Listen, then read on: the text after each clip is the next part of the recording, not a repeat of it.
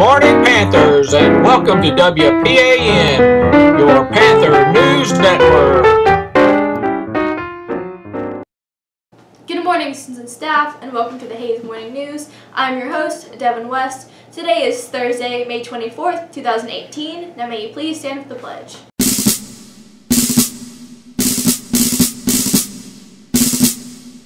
I pledge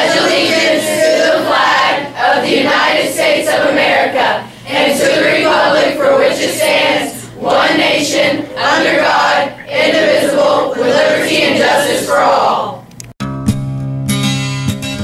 Today for lunch, we have brunch.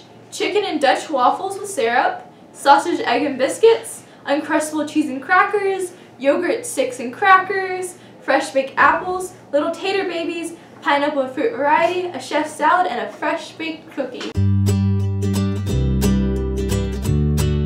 Drama Club will be having an end of the year celebration party on Thursday, May 24th from 4.15 to 5.30. New thespians will be recognized. See Ms. Robot if you have questions.